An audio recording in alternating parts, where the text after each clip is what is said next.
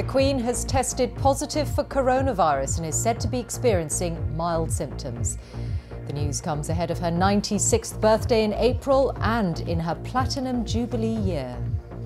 Found out that she was ill on the way here, so it's quite upsetting. I hope she's all right. We want her to recover very quickly and we want to see her back to herself again as soon as possible.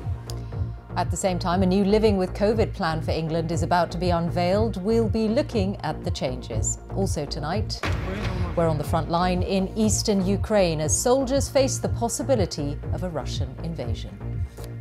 Ukrainian troops here tell us that they are ready for whatever may come, but no one knows what that will look like.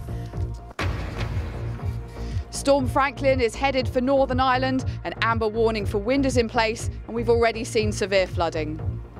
Great Britain have won the Olympic title. And a gold medal in Beijing in the final hours of the Winter Olympics.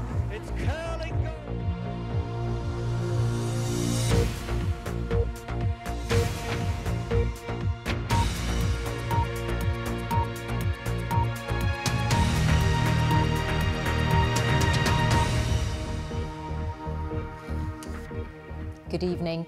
Buckingham Palace announced today that the Queen had tested positive for coronavirus. She's said to be experiencing mild, cold-like symptoms and is expecting to be able to continue with light duties at Windsor Castle this week.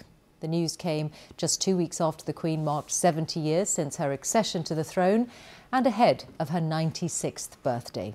Here's our royal correspondent, Nicholas Witchell.